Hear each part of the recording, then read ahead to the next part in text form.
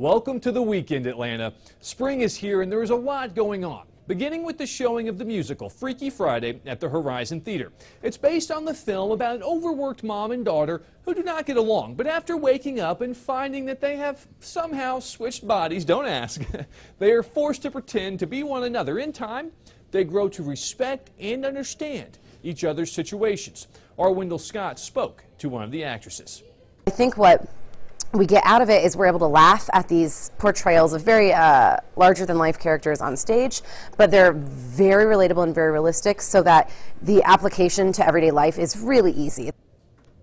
Staying in the arts, the Atlanta Film Festival is at the Plaza Theater now through April 22nd. From animation to documentaries, it welcomes over 3,000 submissions and is noted as one of the only two dozen Academy Award qualifying film festivals in the country.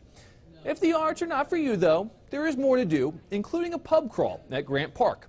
Check out Wendell Scott's article at CWAtlanta.com for details on that and much, much more. Matt Yurus for CW Atlanta.